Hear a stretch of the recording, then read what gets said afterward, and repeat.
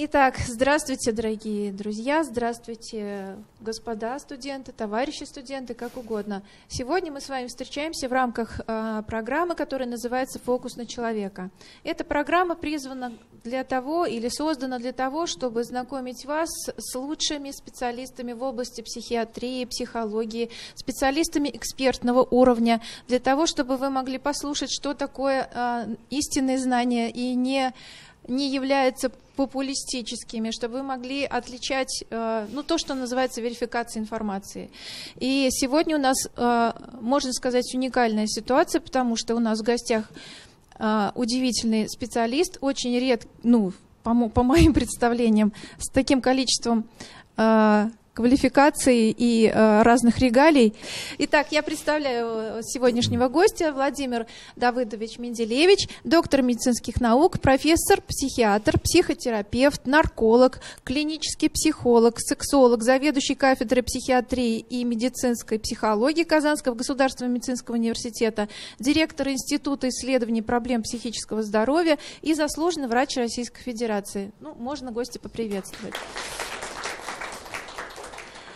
А, напомню вам а, предысторию нашей встречи. Да, мы договаривались о том, что вы собираете вопросы для нашего гостя, и мы эти вопросы потом в студии обсуждаем. И исходя из того, что вопросы могут быть личными, они были анонимными. И таким образом у меня появился достаточно большой пласт для того, чтобы через меня, собственно говоря, вы могли поговорить с Владимиром Давыдовичем. Но есть нюансы, как вы понимаете. Если у кого-то возникают вопросы, которые можно задать вот так во время встречи. Я подхожу, у меня два микрофона, и мы с вами общаем, вы общаетесь напрямую с Владимиром Давыдовичем. Ну, я думаю, начнем мы с тех вопросов, которые вы адресовали непосредственно нашему гостю, да, то, что вам было интересно узнать про Владимира Давыдовича. А, Владимир Давыдович, вот а, вопрос такой был, несколько раз встречался, я их сгруппировала, да, чтобы не повторять одно и то же. Что сподвигло вас пойти работать и развиваться в такой отрасли, и не пожалели вы хотя бы раз об этом? То есть такие вопросы, таких много, вопросов много было, подразумевая, что имелось в виду, а как вообще идти в область, э, где так тяжело и можно сойти с ума. Да, то есть работать постоянно с Э, какими-то эмоциональными переживаниями человека. А мне кажется, что мы сейчас живем в век такой, когда э, это становится не только необходимо окружающим людям, но и нам самим. Есть такое выражение «врач исцелися сам». То есть э, для того, чтобы помогать окружающим, надо постараться быть с, э, самому здоровым. Это касается физически и психически. Вы знаете, что мы находимся в старой клинике. Я здесь учился в этом здании – когда был студентом медицинского университета. Не помню, в, этом, в этой аудитории была ли хирургическая палата или операционная, но что-то такого, такого типа было здесь. А, и вы видите, вот мы переориентировались, то есть ситуация поменялась, но а, если возвращаться к вопросу, который, который был задан, я, может быть, в этом отношении счастлив, потому что для меня работа – это все, что меня интересует в жизни, это и хобби. Я с большим удовольствием на протяжении более чем 40 лет занимаюсь э, этой областью, но, может быть, вас смутило, что там столько разных направлений, да, и психиатрия, и психология, и психотерапия, и сексология, и наркология. С моей точки зрения, э, это довольно близкие вещи, а с другой стороны, это вещи, которые делают твою жизнь профессионально разнообразной. Ты не замыкаешься на чем-то. Ты не являешься, например, специалистом-шизофренологом. Наверное, было бы скучно заниматься одной шизофренией, хотя шизофрения э, не познана, и все больше и больше хотелось бы заниматься этим, глубже уходить, но только этим заниматься не хочется. И вообще вся жизнь, для того, чтобы э, она нравилась, она должна быть мозаика. Это такой пазл. Пазл, который складывается, ты этим занимаешься, другим занимаешься, третьим, пятым, десятым – и таким образом ты не эмоционально не выгораешь. Почему-то сейчас очень много людей эмоционально выгорают. Э, говорю почему-то, потому что я не понимаю, как можно выгорать, если занимаешься любимым делом. Поэтому никогда не пожалел и, надеюсь, не пожалею в дальнейшем. Хотя жизнь очень сложная э, и неизвестно, как, как э, могут быть ограничены, например, наши профессиональная деятельность. Возможно, если бы я жил в советское время, а я начинал работать в советское время психиатром, если бы в советское время сохранялось, наверное, я пожалел бы, эмоционально выгорел. Потому что вы знаете, что в советское время, слышали, в советское время психиатрия использовалась в политических целях. Она была карательная. Я начинал в это время участковым психиатром в Казани на Волково 80. Но в этом здании нахожусь до настоящего времени. То есть даже место дислокации практически не менял. Вот, наверное, тогда я бы пожалел, потому что тогда ты был ограничен в своих э, воззрениях, в том, как помогать, кому помогать, кого считать больным, кого считать здоровым. Ну, время поменялось, и я рад, что э, эта профессия дает такой, даже эмоциональную подпитку. Я правильно понимаю, что то, о чем раньше писали, о чем снят фильм «Полет над гнездом кукушки», этого в российской психиатрии уже нет, не применяются вот такие ну, жесткие нет. меры. Я думаю, что, э, смотрите, вы начали с того, что есть эксперты, которых вы приглашаете, но ведь мы сейчас живем в век, особенно в нашем, в нашем, так сказать, кругу, когда слово «эксперт» размылось, очень трудно понять, кто эксперт, кто не эксперт. Все заявляют себя специалистами – а особенно с появлением соцсетей, когда каждый может рекламировать себя, проводить, ну, например, в психологии мастер-класс, и какой-то, даже людей может иметь, подписчиков миллионы, но это вовсе не значит, что это эксперт. И э, вот, вот эта, эта область как раз требует действительно очень э, серьезных знаний. Если взять психиатрию, которая э, была, то мы можем сказать, что вот, ну, столько фейков, столько не, неверной информации. Вот я убежден, что подавляющее большинство сидящих здесь в зале и, может быть, слушателей убеждены, что до настоящего времени в психиатрии есть смирительные рубашки. Несмотря на то, что их отменили 200 лет тому назад. Я такой человек, который думает так до сих пор. Я думаю, я Нет, вы, значит, я, я просто убежден. Откуда эта информация? Из фильмов. Откуда эта информация? Из, подпитываемая страхом, это не значит, что нет других форм нестеснения. Они есть. Но если вы оказались сегодня, вот я только что из э, своего кабинета и смотрел больных, если бы видели этих больных, которые бывают... Это, это, это, в этот момент это человек не тот, который он на самом деле является. И он владе, им, им владеет болезнь. И он ведет себя абсолютно неадекватно. И на короткий промежуток времени его могут фиксировать. Не всех, ненадолго, все расписано, вся технология. Но никаких смирительных рубашек – Конечно же нет. Была ли карательная психиатрия? Во всем мире была. Полет над гнездом кукушки, ну, не знаю, читали вы это произведение, смотрели ли этот классический фильм, по-моему, даже получивший Оскара, а, который описывал быт американской психиатрической больницы, по-моему, это конец 50-х годов был. А, страшное зрелище. И тогда на меня производило, когда я начинал работать, понятно, что в 50-е годы еще и не жил, и не работал. И должен сказать, что там была идея следующая. Психиатрия – это такая область, которая создана государством для усмирения людей, но так как бы э, способом вполне легальным.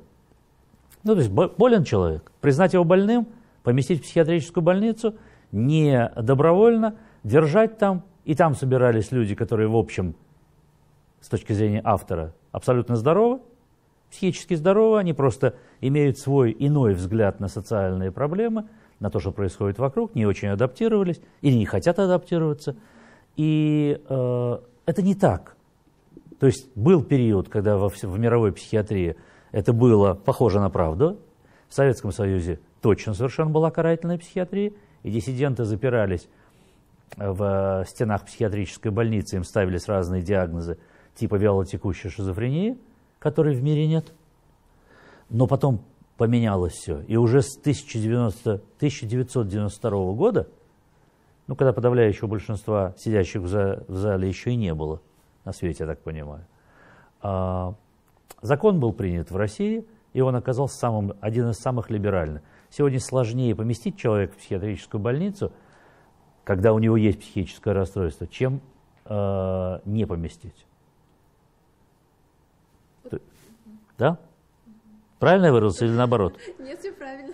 Да? То есть человек болен, очевидно ведет себя неадекватно, но мы его поместить не можем, потому что у нас есть закон. Потому что нужны очевидные признаки его социальной это опасности. Очень причины да. Того, чтобы... это, я считаю, это хорошо. Ну, то есть, конечно, карательная психиатрия была, сейчас мы живем в другое время. Что будет дальше, от нас зависит.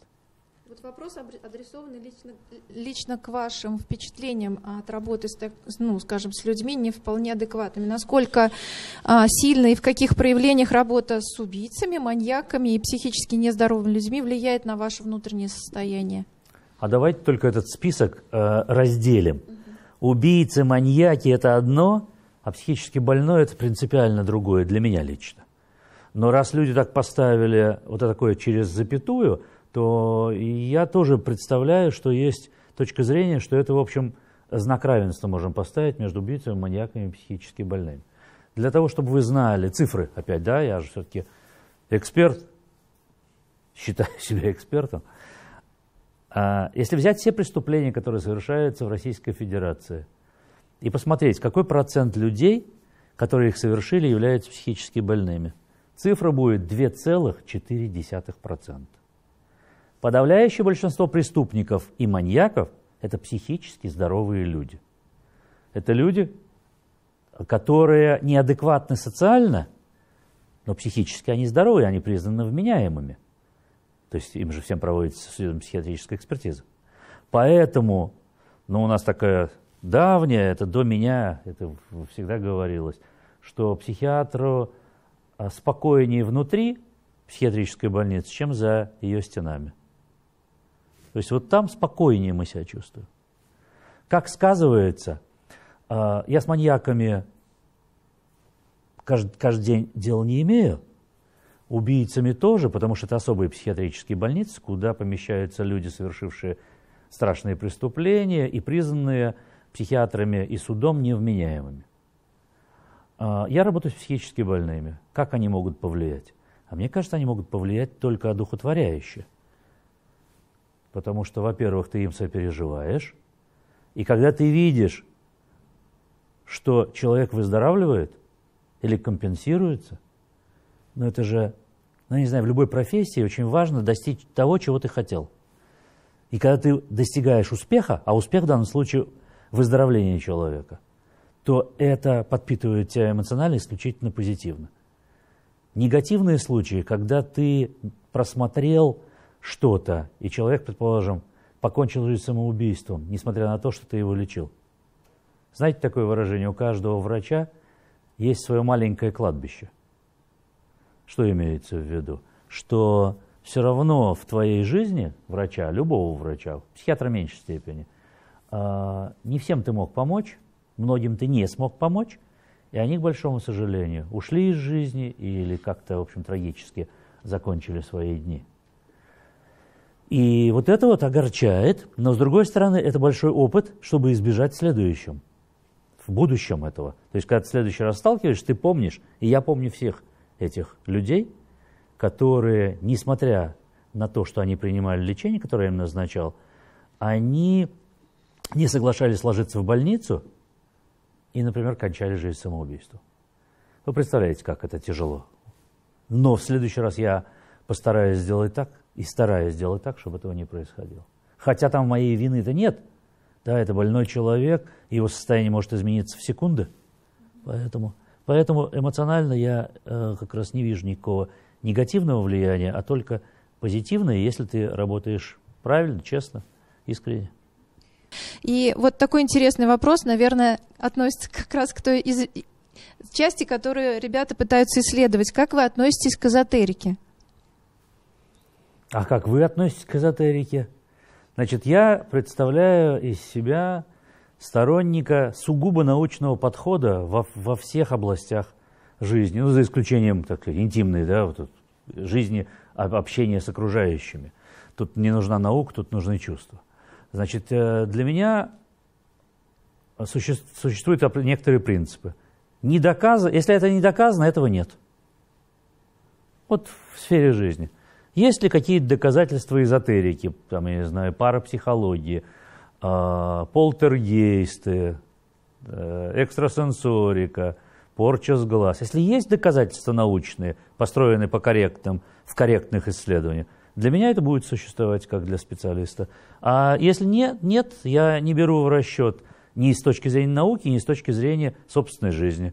Для меня этого не существует. Но если поставить по-другому вопрос, а если ко мне пришел клиент или пациент, вы понимаете разницу, да? Клиент – это человек, который пришел с психологической проблемой, но у него нет психических расстройств.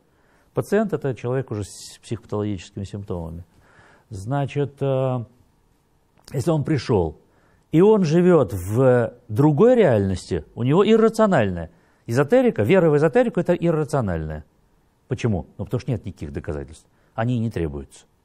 Так вот, если он живет в этой э, среде, в этой атмосфере, я не буду его переубеждать. Он же не научный работник, у нас же не научная дискуссия. А если он считает, что, предположим, надо пойти к экстрасенсу, или нужно какие-то там карты Таро расклад, еще что-нибудь такое, дай бог ему здоровья. Я не буду настаивать, но я его спрошу, скажите, пожалуйста, а вы ко мне пришли за советом? Я вам честно расскажу свою, свою точку зрения. А выбирать вы будете самостоятельно. Ну, например, огромное количество людей, теперь не эзотерика, считает, что лекарство – это вред. То есть любое лекарство над народными средствами. Все лекарства – это, они говорят, химия. Слышали такое выражение, да? Лекарство – это химия. На что я не, вступая в дискуссию и в спор такой эмоциональный, спрашиваю, а что не химия, то есть что вы считаете вот нормально? Они говорят, там травы, народные средства. Я их спрашиваю, а вот эти травы, народные средства, это что, физика? Точно такая же химия, только лекарства э, проверенные, лекарства, прошедшие все исследования, и понятно, что находится в этой таблетке, а когда вы собираете подорожник, ну, не знаю, там что-нибудь еще, вы же не знаете, или вам присылают китайские биодобавки, вы же не знаете, что там. Это абсолютная такая э, закрытая, закрытая область. То есть все, еще повторюсь, да, все, что не доказано, для меня не существует в сфере науки. В жизни, наверное, да. Фильмы я могу смотреть с эзотерикой, какие-нибудь там фантастические фильмы могу смотреть, но я только понимаю, где граница проходит между реальностью, как бывает, а как не бывает. Ну, Кого-то, может как, быть, расстроил. Когда отношение к эзотерике как к эзотерике, а не как к истинным научным знаниям, то она имеет право ну, существовать в а качестве все, магического все, что мышления. В обществе, все, что общество считает возможным э, в его жизни, в жизни общества, оно должно существовать. Если оно кому-то помогает, а может, оно успокаивает людей. Хорошо, пусть будет, но мы же говорим о науке. В науке этого не существует. Такой интересный вопрос. Когда я его прочитала, у меня лично сразу ответ возник. Вот интересно, какой ответ будет у вас. Как избежать наказания за убийство? Я каждый раз думаю, а кто мог, мог задать этот вопрос и с какой, с какой целью, какой у него мотив. Да, мотивов много, может спровоцировать, там понятно, что это же не убить. А, я предполагаю, что речь идет о том, что психически больные, извините, что я предполагаю всегда, да, может и не об этом задавался вопрос, что психически больные с определенными расстройствами, вот, находящие, находившиеся в определенном состоянии, совершившие преступление, как бы освобождаются от ответственности. Ну, вот этот вот Дискуссия была очень давняя, ну как давняя, глубокая, но не давняя, это по поводу казанского стрелка. Одна экспертиза признала его психически больным, а значит невменяемым, а значит он бы не понес наказание и не находился в местах лишения свободы, а отбывал, не отбывал, а находился на лечении в специализированной психиатрической больнице, на лечении. А другая экспертиза в другом городе России, признал его психически здоровым.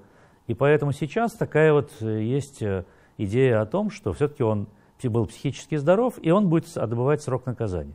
Так вот, если человек, совершив преступление, убийство, например, как, как задали вопрос, состояние неуравновешенной психики, а так выражаясь не психиатрическим языком, в состоянии психоза, например, то он попадает вместо тюрьмы психиатрическую больницу не потому, что он избежал наказания, а это иная форма наказания. Э, в некоторой степени это государство придумало гуманистическое, потому что человек убивал не потому, что он человек, а потому, что болезнь его вела. Ну, представьте себе, голоса ему сказали «убей». У меня таких пациентов огромное количество. «Ударь», «сделай что-то плохое». Это голоса, это галлюцинации, это патология мозга. За что же мы его будем в тюрьме держать? А за то, что мозг неправильно работает. И как он будет больного человека разве гуманно держать в местах лишения свободы? Давайте постараемся его вылечить. Этим, конечно, мы не вернем жертву, и это трагично. Но, может быть, мы вылечим, и человек будет испытывать чувство вины за совершенное э, преступление. Преступление от этого не перестало быть преступлением, оно преступление. Поэтому это не уклонение, это другая форма. Это другая форма, ну как бы общество, общество приняло, что больных мы не будем э, казнить. Больных мы не будем сажать э, в тюрьму. Пусть они лечатся. А, правильно или неправильно, это общество решает, это мы с вами решаем. Вот сейчас крен такой, что надо всех, э, всех кто совершал преступление, больной и здоровый, в тюрьму расстреливать. Ну, у нас нет, у нас мораторий на смертную казнь. Что-то с ними делать, такое наказание э, в социальном плане. Такой крен сейчас в обществе, потому что агрессии очень много. Э, я с этим, как профессионал, как человек, не могу согласиться, но общество решает. И если общество решит, законы будут подобраны таким образом, и так и будет. Хотя я принципиально против. Вот еще такой вопрос, он достаточно длинно звучал, я его сократила, и в принципе он получился такой. Как вы относитесь к ненормативной лексике в том объеме, в котором она сейчас присутствует в языке? Ну, это вообще вопрос ко мне, конечно, как профессионалу, как эксперту никак не относится. Видимо, как да, я, я, не, я не филолог, э, как, как я лично отношусь. Я я к этому спокойно отношусь, честно скажу. Меня не смущает мат. Меня смущает, когда люди используют какие-то пошлые слова, которые как бы мат. Вот они меня смущают, как человека. Мне кажется, хочешь выругаться, выругайся, только ну, знай, где это возможно. То, что э, разные слои населения, разный возраст по-разному относятся и, и не может эти границы найти. То есть э, Опять же, без осуждения, просто анализ такой, для меня, мой анализ, э, непрофессиональный анализ. А, если ты общаешься в каком-то, в каком-то сообществе, и, и в котором принято или возможно использовать мат, наверное, его возможно использовать. Но только не разговаривать на нем, да? А использовать к месту. Бывает же красиво, правда? Не знаю, правда. Говорю, может, политнекорректные вещи. А, красиво так, изысканно, филологически – творчески, а бывает совершенно банально и грубо. Значит, э, вот если человек знает границы, ну, вы же понимаете, что в процессе воспитания всегда, вот у меня внучки, им по, скоро по 11 лет, но они матерные слова-то знают. Моя задача, я так поставил себе, и всех родственников, э, не заставить их э, исключить из своего лексикона, а показать границы, где можно, где нельзя. Я так думаю. Ваш любимый анекдот про психиатра? Нет, а по-моему анекдотов много, но у меня нет. Э, Любимого нет? Нет. Хорошо, вот еще такой самый страшный случай из вашей практики, связанный вот с, психи... с приемом психиатрическим, страшный, когда вам вот действительно было не по себе. Но не по себе бывает нередко, когда человек может, например, оказаться у тебя на приеме с ножом. Такие случаи бывали. Для этого раньше существовала кнопочка у нас, тревожная кнопка. У меня на столе была такая кнопочка. А если что, я должен, ну как в магазине, я не знаю, вызвать, а, тоже за, за, за стеной или за дверью сидят люди, которые знают. Я ей никогда не пользовался, ни разу в жизни, несмотря на то, что много жизненных ситуаций было сложных в профессиональной своей а, жизни. Но, может быть, я не попадал в более сложные, потому что у нас в больнице был случай, когда э, пациенты захватили в заложники врача и нескольких больных. И их пришлось спецназом оттуда, извините, в кавычках, выкуривать. Да? Ну, потому что это было совершенно неадекватно. Не просто, не просто э, криминальные действия, а криминальные действия, которые не контролируются. Потому что человек, неизвестно, что он думает – и как он думает, и почему он думает. Вот такие случаи. А, и я всегда считаю, что уровень профессионализма как раз проявляется в том, сможешь ли ты, во-первых, не спровоцировать агрессию, вот эту, общаясь с человеком, если ты профессионал. А с другой стороны, ее как-то погасить, а если она появилась.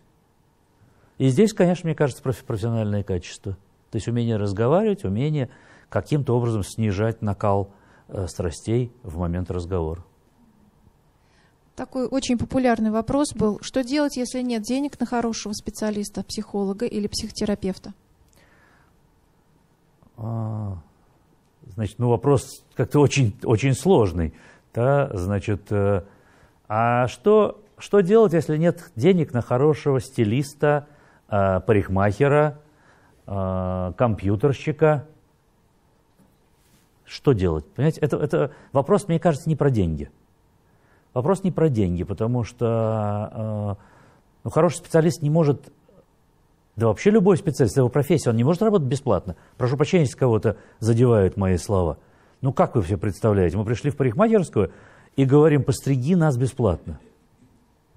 Да? Ну как? То есть теоретически это возможно, ну какие дни для пенсионеров, да? Стригут бесплатно. Я понимаю. Принимают в больных бесплатно. Но это работа человека. А если у него не один бесплатный, у него, у него э, предположим, 20 бесплатно. Я с трудом понимаю эту социальную экономию, экономику. Я не понимаю, как это может быть. Но вопрос немножко другой, я хочу его перефразировать. Дело в том, что если кто такой квалифицированный, да? как там был, хороший? Хороший. Хороший. Я не знаю, что такое хороший в вашем понимании. А, я знаю, что такое хороший в э, моем представлении. И здесь мы сразу разделим психолог, психотерапевт, психиатр. Значит, сразу отметаем в оценке хорошести регалии. Профессор, академик, доктор наук, кандидат наук для меня никакого значения не имеет, если я буду обращаться к специалисту. К большому сожалению, а я э, говорю и понимаю, что могут обидеться мои коллеги, или я даже сам на, на себя могу обидеться. Вот эти вот регалии, они сегодня в нашем сообществе никак не отражает квалификацию специалиста. К большому сожалению, все эти э, звания и должности, они часто попадают в руки или и ими награждается человек, который на самом деле небольшой специалист. Для меня важны будут другие качества этого человека. Но все-таки квалифицированность для меня, если психиатр, то это квалифицированность и исследование доказательной медицине. Вот это вот это принципиально. Вот никакой эзотерики. Если вы хотите, если вы говорите, что хороший парапсихолог, то слово «хороший» не подойдет с точки зрения науки. Он, он не хороший, потому что он, он базируется не на правильных посылах.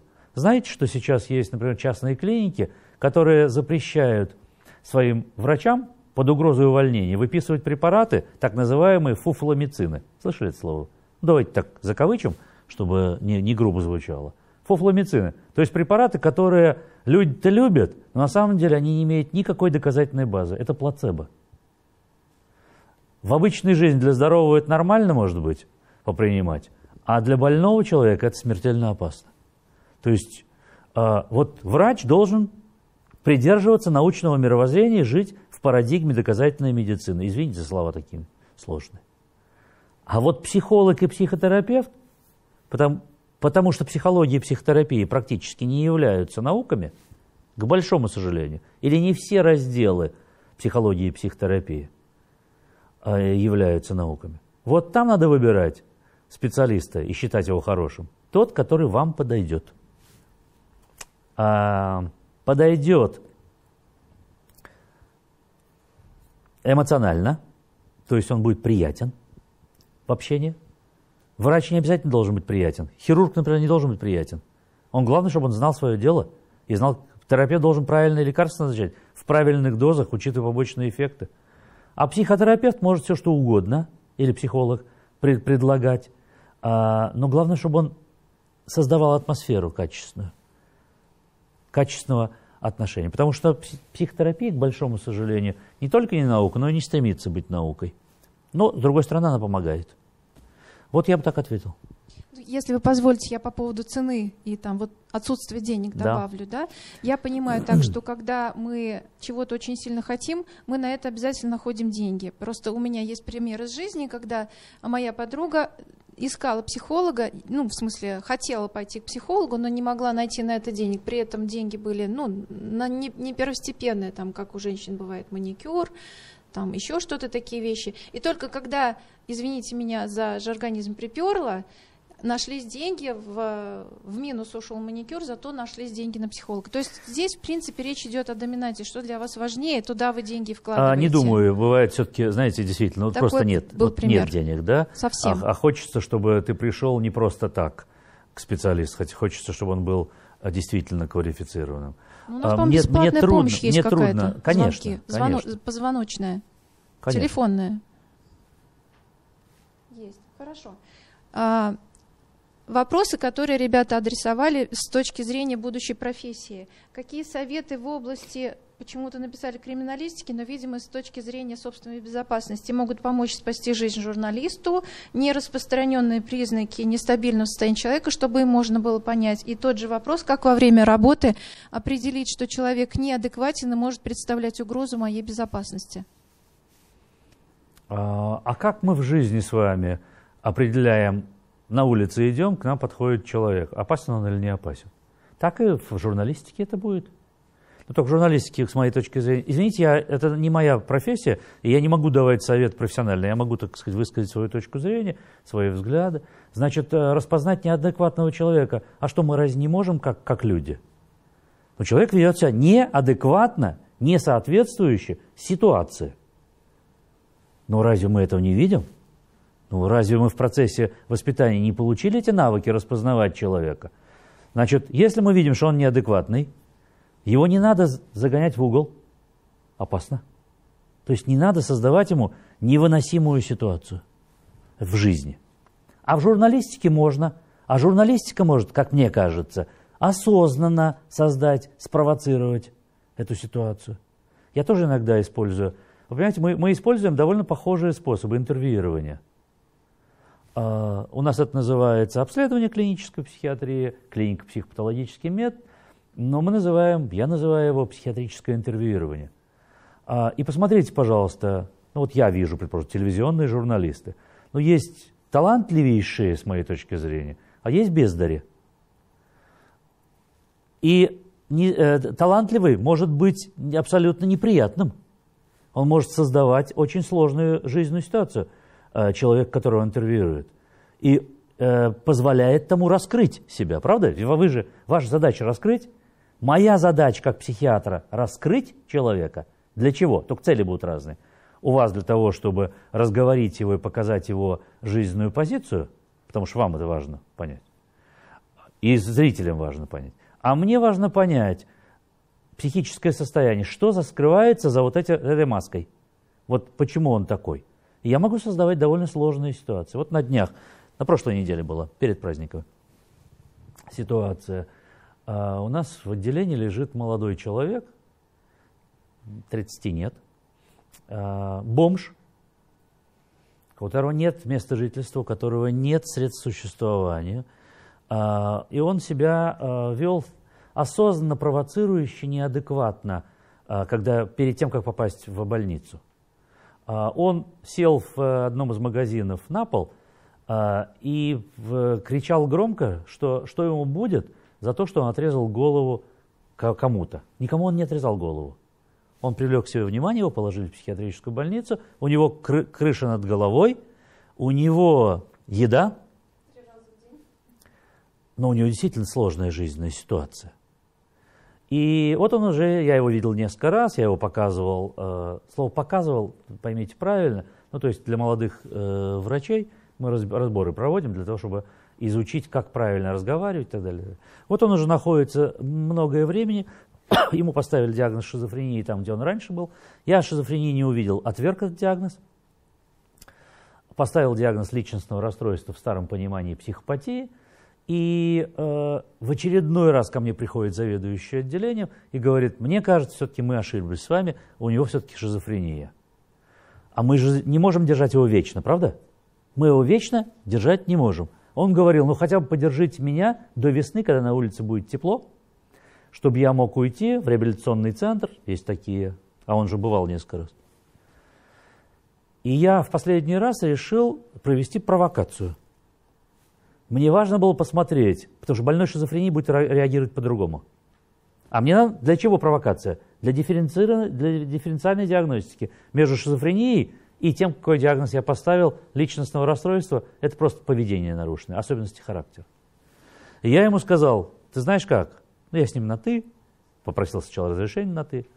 А, мы вот здесь собрались сегодня, ты знаешь, надо выписываться. И мне важна была реакция. Значит, я его спровоцировал. Значит, какая цель? Посмотреть его реакции.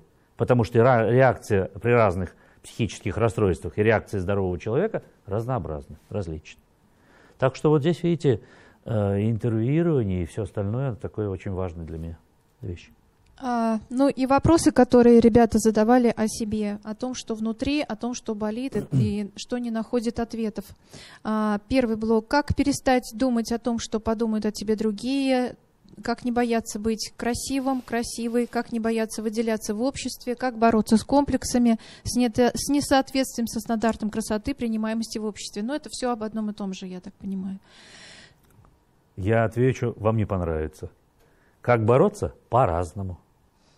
Потому что за каждой ситуацией будут скрываться разные мотивы, разные особенности. И даже вот из того из перечисленного они разнятся принципиально, с моей точки зрения. Быть красивой и, э, значит, первое то, что вы сказали, стеснитель, да, то есть как бы чувство...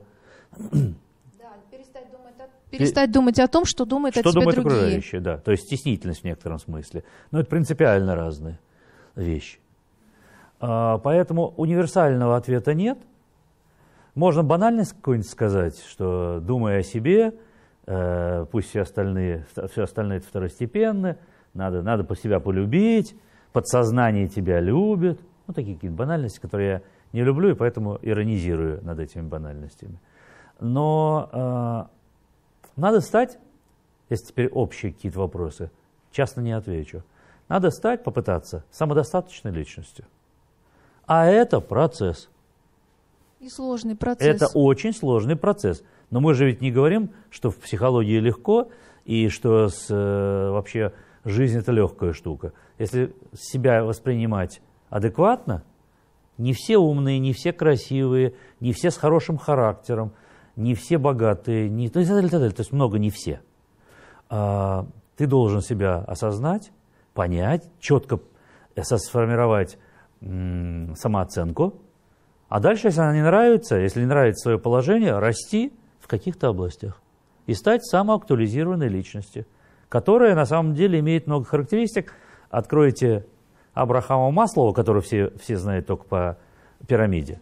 А, посмотрите 10 пунктов, которые указывают на самодостаточную личность. Если вам это интересно, формируйтесь. Если неинтересно или трудно, или что-то не хочется, есть другие более интересные вещи в жизни, тогда, ну что ж, будем, будем жить с комплексами. Ну вот э, у нас есть коуч, известная такая всероссийская звезда Марина Мелия, вы, наверное, слышали ее? Коуча я не знаю.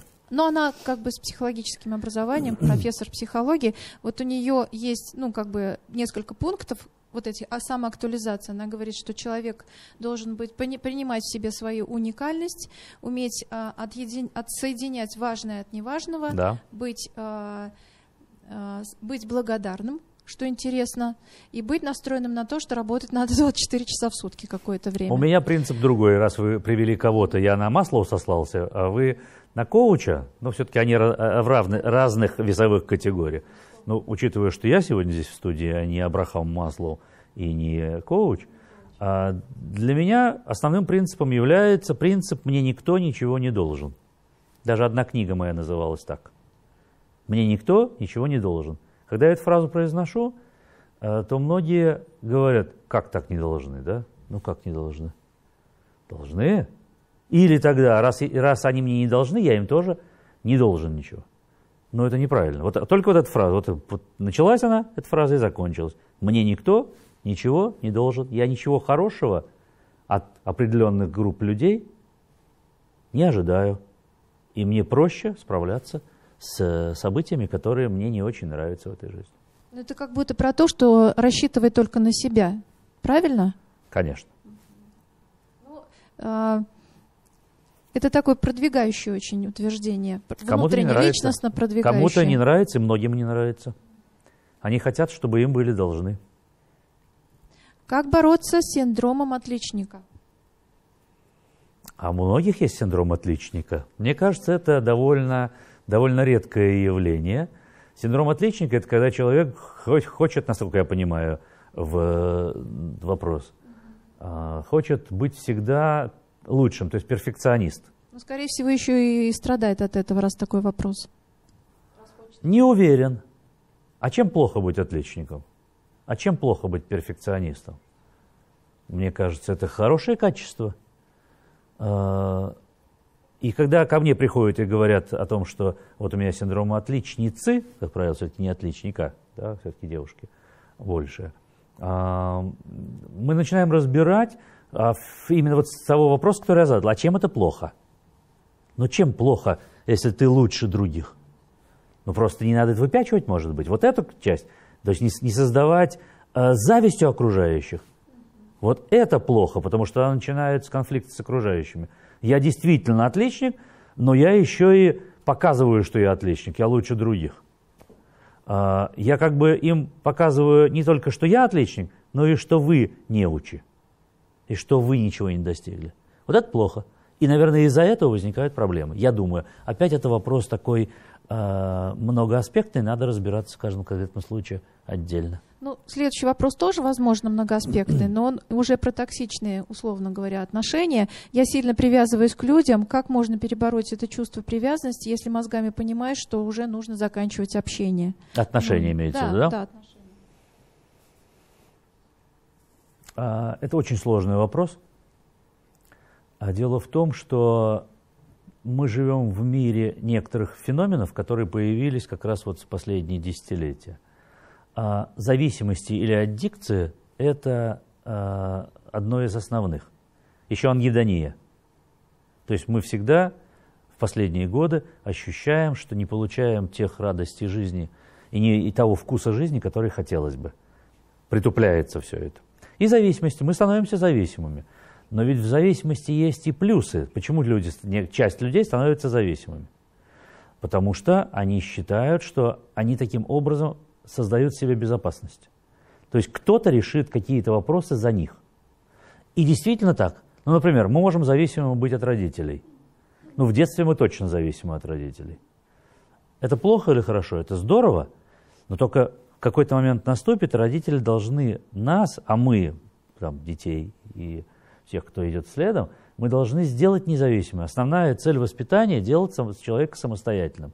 Значит, если человек сформировался зависимый, и не может выходить из токсичных отношений, значит, он, к большому сожалению, не смог сформировать эти качества независимости. Противоположность зависимости – это инфантилизм. Инфантилизм. То есть мы все равно продолжаем видеть в людях только позитивные, хотя они токсичные. А, это долгий процесс, который требует психотерапии. Хотя уже многое упущено. Лучше, чтобы это сформировалось в детстве. А, следующий вопрос а, касается искусственного интеллекта и всего, что связано с социальными сетями и вот внедрением вот этого искусственного интеллекта. То есть, в принципе, тоже про аддикции, которые уже вызывают такие последствия, как краткосрочная память ухудшается, внимание не удерживается. То есть э, ребята сталкиваются уже с таким в своим собственном, ну, как бы, мире, да, психи... да. проявлением психическим. Вот как, что здесь можно сказать? Ну, здесь по поводу искусственного интеллекта, наверное, все-таки в, сто... в сторону отодвинем, потому что больше да, про социальные сети, да? да? да, да потому что там никакого интеллекта нет. Там ну, это то, же чем мы насытим, то и да. будет, да? А, ну, мы, мы с вами поменялись жизнь поменялась, а, общество поменялось, и без коммуникации, которая нам позволяет вот, э, социальные сети, я не знаю, интернет и все остальное, или позволяло, потому что сейчас ситуация у нас с вами может быть разная, и уже не все социальные сети у нас с вами работают. А, но это видоизменения под, под мир, видоизменения под мир. Ну, здесь же огромное количество плюсов и огромное количество минусов. Давайте начнем со следующего. Если это плюсы. Ну, это же быстрота коммуникации. А, умение, возможность получить информацию разную. Минус. Фильтровать эту информацию надо научиться. Или, как правило, мы не, не, нам дали способ, нам дали много разной информации через социальные сети, нам не дали способ уметь ставить фильтр и понимать, где фейки, а где не фейки. И мы стали очень детьми. Мы стали слишком часто верить в то, что нам, во что нам хочется верить. Значит, это я вижу отрицательно. То, что ребенок много проводит времени э, в интернете, ну, банальные вещи говорю. Плохо, надо, чтобы было и то, и другое. С другой стороны, если бы не было интернета в период э, двухгодичного эпидемии, пандемии, я не знаю, как бы люди выкручивались и как бы эта жизнь э, куда повернулась. То есть я не, не, не, не считаю это такой большой проблемой. Можем всегда в процессе воспитания сформировать адекватное отношение к э, и социальным сетям, и к интернету, и к играм, и ко всему остальному. А, следующий вопрос. Но я думаю, я его все-таки зачитаю. А, про психотравмы в целом. Стоит ли искать в себе психотравмы, а в частности, а, какие бывают посттравмы после изнасилования и как с ними справляться или прорабатывать? Ну, вы, вы наверное, знаете о, о том, что большинство психологов считает, убеждено, я критикую и себя, хотя я не, не, не ту, ту, ту точку зрения, которую я выскажу, я не придерживаюсь что все наши страхи, вообще все наши проблемы связаны с детским периодом жизни. И если оттуда выудить эти все детские психотравмы, то жизнь у нас наладится. А, значит, я не согласен с этой, с этой точкой зрения. Почему? Первое, нет никаких научных доказательств, что наши психологические травмы связаны с периодом детства, тем более с сексуальными детскими травмами. Фрейд был большим большим выдумщиком. Гениальной личностью, которая повлияла на развитие культуры, искусства, жизни простых людей. Но это все вымысел. Все его теории – вымысел. У меня в кабинете, несмотря на все, что я сейчас говорю, висит портрет Фрейда. Это как бы назидание, что вот, вот даже такие э, фейковые идеи могут завладеть массами на многие столетия. Значит так, в детстве нечего копаться.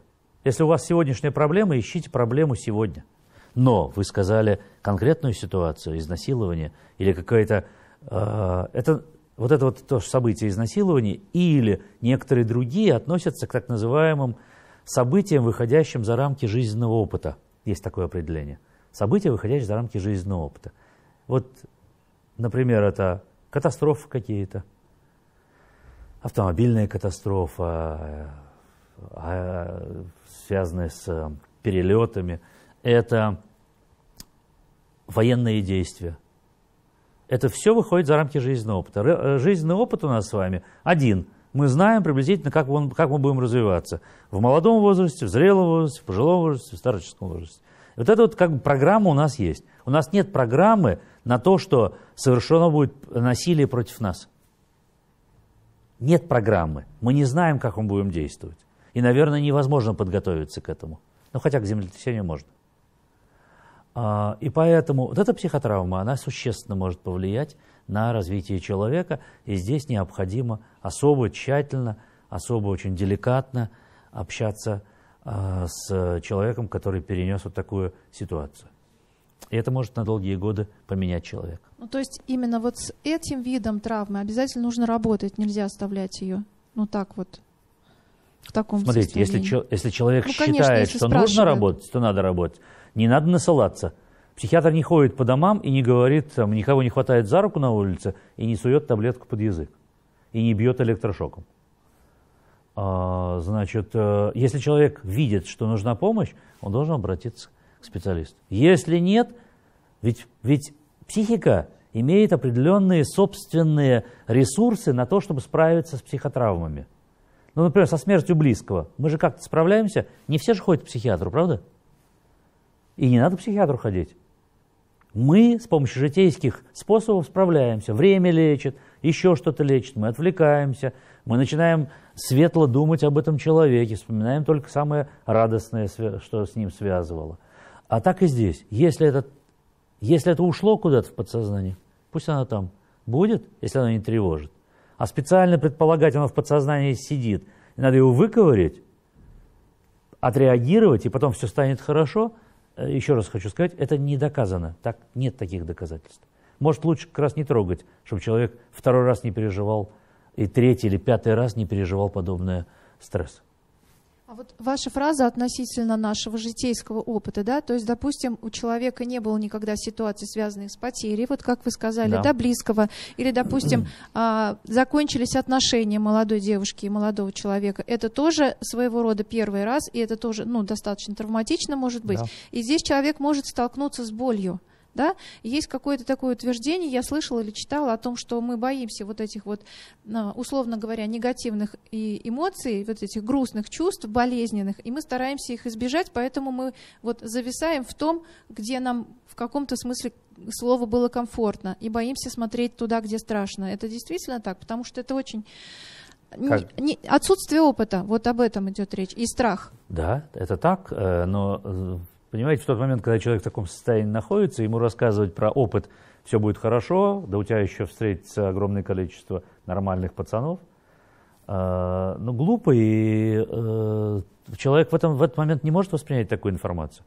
И с другой стороны, это неправда, а может такое больше не встретится. Поэтому э, помощь, помощь нужна этому человеку, но очень деликатная. Очень деликатная, если он сам ее попросит. И не мистическое, с моей точки зрения. Вот не всякая экзотерика, гадание и все остальное. Профессионально. Вот еще вопрос про родителей.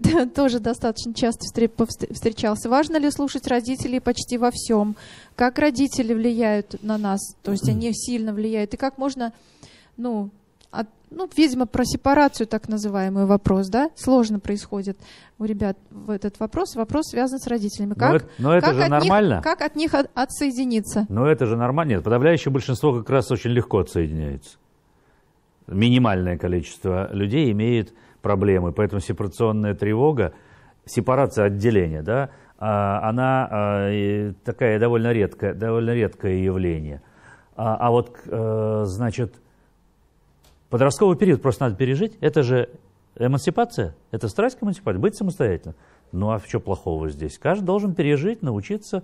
А, другое дело, что а, ну как бы какие-то границы должны быть поведения. Человек должен понимать, что а, его с тем, кем он э, рвет отношения или пытается порвать отношения, они же тоже какие-то имеют свои взгляды на то, как, как отношения будут строиться дальше.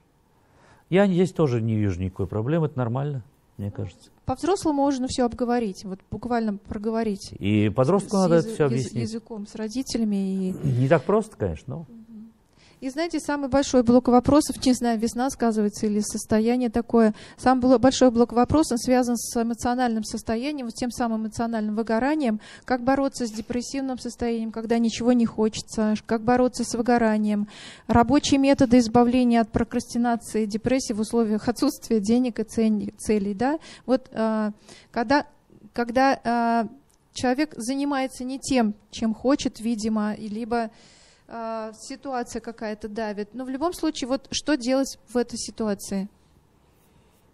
Мой близкий приятель и по совместительству а, врач-психиатр, ну просто мой друг, с которым мы э, с первого класса школы были, сейчас, к сожалению, его нет уже в живых, он говорил, что эмоциональное выгорание встречается у людей, которые занимаются не своим делом. Значит, опять любой совет, он всегда как-то так сужает и как бы не учитывает многих разных аспектов. Как можно сказать? Не надо заниматься тем, что не, не, не, не дается, то есть то, что вам не нравится. Надо заниматься любимым делом. А сказать легко, сделать сложно, потому что, ну, представим себе, что ты встроился в какую-то компанию и зарабатываешь неплохо. Ну, по крайней мере, у тебя карьера есть. Но ты понимаешь, что это не твое. Вот как уйти, да? Я понимаю, что я могу дать совет, но он невыполним, и это так наивно очень. Значит, Но то, что э, эмоциональное выгорание связано не столько с перегрузками, сколько, хотя с перегрузками тоже, возьмите врачей, которые сегодня в ковидное время работают, э, там просто фантастические перегрузки. И поэтому многие увольняются, они не справляются уже. А, значит, надо иметь смелость поменять свою жизнь. Опять мы возвращаемся к смелости и к второму полюсу инфантильности, собственно говоря. А смотрите, да? а кто отвечает за нашу жизнь? А кто ее может решить? Мне никто ничего не должен. За меня никто не решит, тем я занимаюсь или не тем. А, а может, давайте поменяем место жительства? У нас все-таки культурально мы привыкли к тому, что далеко уезжать от дома не, неправильно. Ну, надо как-то жить вот тут, вот, вот. Где родился, там и пригодился. А, если человек живет и чувствует, что ему тягостно в этих условиях, в этой работе, как мне кажется, надо брать ответственность и экспериментировать, решать, уезжать. Ну, как бы поколения разные, и сейчас поколение более, э, более такое мобильное, а предыдущие поколения были менее мобильные. Ребят, вот про родителей, про вот условный инфантилизм и смелость жить, есть какие-то вопросы? Тогда переходим к сексуальным отношениям, тоже много вопросов.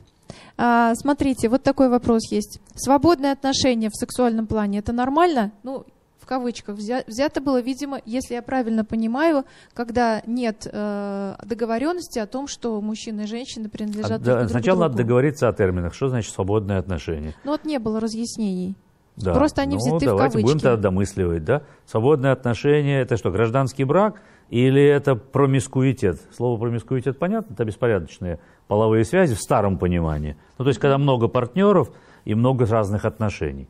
Насколько это нормально? С точки зрения психиатрии это нормально. С точки зрения морали и этики сами решайте. А, полиаморы сейчас называют, по-моему, такие отношения. Хорошо. Есть ли смысл откладывать первый половой акт с партнером для того, чтобы точно понять, что вас вместе держит не только половое влечение, но и интерес к личности? Меня спрашивают как психиатра? Как у сексолога, я думаю. А, как у сексолога. А, опять же, вопрос не медицинский, а сексология – это часть медицины и психологии. Mm-hmm. Вопрос, а, вопрос такой этический. Потому что ведь сексуальные, сексуальные отношения, они включают в себя физиологический аспект, включают социальный аспект. Насколько в социальном смысле это человек себе позволяет и считает возможным это позволить, но я не знаю, что значит ранее? Раннее там было слово, да? Да, первый, откладывать первый. Первый. Ну, видимо, откладывать, да. то есть в ранний возраст. А сколько? В 12 лет это нормально? В 12 не нормально? А если это уже созрел человек, а есть те, которые созревают очень рано, а, значит, опять же, общество будет решать, что такое норма или не норма, потому что здесь ни медицина, ни психология решают. Если человек готов взять ответственность на себя, то что сам, сам себе технический половой акт, он возможен, наверное, и в детском возрасте. Технически, физиологически. Вопрос в другом, что здесь же социальное значение, биологическое значение. Биологическое значение – это представление о том, к чему могут привести сексуальные контакты помимо удовольствия. А, к физическим изменениям, к болезням каким-то, ВИЧ, предположим, да? а, и к беременности, например. Вот если человек социально созрел и понимает, и отдает отчет себе, и готов взять ответственность на себя в этом вопросе, Наверное, да, но тогда все равно возникнет какая-то возрастная граница. Все равно мы в обществе должны сказать, с какого возраста мы посчитаем, что это правильно. То есть, вот правильно, в 12 лет вы машете категорически нет, а в 13, а в 13 с половиной, а в 13 с четвертью. Да? Когда? Какой возраст? Здесь, конечно, э, он будет, он, наверное, все-таки будет ограничен э, каким-то подростковым, может быть, 14, Опять же, это все меняется в разных культурах по-разному. Э, и только в случае принять на себя ответственности за все это. Не так давно, по-моему, принято решение о том, что за педофилию будут давать пожизненное заключение. Вот здесь такой вопрос. Можно, можно, как вы считаете, можно ли считать педофилию специфической сексуальной ориентацией? Нет. То есть и да, и нет, вот так скажу. Значит, давайте слово только педофилия расшифруем, потому что для врача педофилия – это психическое расстройство в форме непреодолимого влечения к детям.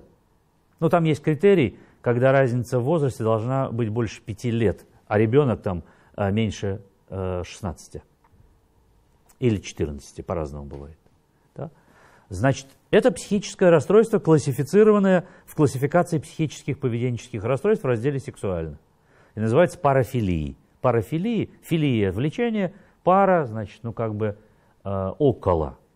Не так, как должно быть. А, значит, но ведь в, люди употребляют слово под, педоф, э, педофилии по-другому, правда? Не рассматривают как, э, как сексуальное влечение, как расстройство психическое. Просто как влечение к детям. Как влечение к детям. А, известно, что у, у людей с педофильной ориентацией, но это ориентация на детей, а, имеется в виду, что со сверстниками этот человек не может получать того удовольствия, которое он получает от сексуального контакта с детьми. Он действительно инфантильный. Почему он застрял в этом возрасте? Почему ему важен ребенок? Ну, считается, есть психологические некоторые особенности, что этот человек несостоятелен ни в сексуальном, ни в психологическом смысле. Он изгой, он не может нормальные контакты э, наладить со сверстниками. Не может. Он застрял психологически на том уровне развития, на школьном, предположим. И поэтому у него образ вот этот остался. Э, я не знаю, вы этот вопрос не задали, по-моему, юридически, да? То есть, э, но смысл, чтобы там пожизненное заключение. А, я считаю, что это правильно, но только тут надо понимать, что вылечить педофилию как болезнь крайне сложно, если не сказать, что невозможно. Предлагает там химическая кастрация. Химическая кастрация – это введение гормонов, веществ, которые подавляют сексуальное влечение. Но только совершенно не понимается, что педофилия – это не обязательно э, контакты с применением половых органов. Это может быть и другое совсем. Это может быть какие-то извращенные формы, парафильные формы. И не обязательно, ну, подаем ему влечение. Но дальше, а на сколько времени мы подаем это кастрации? То, что уголовное наказание, но только уголовное наказание не имеет значения уж какой возраст. Это просто трагически очень, когда на детей распространяется. Я считаю, что э, эти люди... Смотрите, я вам по-другому скажу. Вот ко мне приходит мужчина и рассказывает, он жалуется на свою педофилию. Он еще не вступал ни в какие сексуальные связи с детьми. Но он не может совладать с его собственным желанием вступить, э, вот я сейчас говорю, вспоминаю этого мужчину, лет ему 35, что ли, э, по поводу э, дочери его второй жены, которая живет рядом. Он не может справиться. И он пришел за помощью. Скажите, что делать? Вот он пришел ко мне за помощью, он еще не имел сексуальных контактов. Но он осознает, что это патология. Что так нельзя, это криминально, это аморально, это патологически. Сложнее ситуация, правда, да, вот когда я его нарисовал вот так. И что делать? Помогать этому человеку? Ну что, его заставить, там, скажем, э, развестись, чтобы не было детей рядом. Это тоже способ, да, то есть избегать э, ситуации, где это может спровоцировано быть. Ну, так же, как, я не знаю, там, когда лечишь алкоголика, лучше всего алкоголь из дома убрать. Э, так и здесь. Но это не такая простая тема. Вообще много непростых тем в психологии, в сексологии, в психиатрии. Э, зацепился у меня мозг за вашу фразу по поводу незрелости, да, несостоятельности. Да. Я читала в статье, был, есть, ну, в принципе, во многих а, племенах такая практика есть. Устраиваются определенные иници... инициаторские или иници... инициационные да. практики, да, через которые человек должен проходить, и мужчины, и женщины. Да. В том случае, если а, член племени не проходит вот эту инициацию, его не впускают во взрослое общество. И вот то, что вы сказали, изгой, да, то есть этих людей поселяют отдельно, и они не имеют права принимать участие в каких-то взрослых решениях и взрослых действиях. То есть они остаются взрослыми, как бы физически, но по сути остаются в роли детей, да.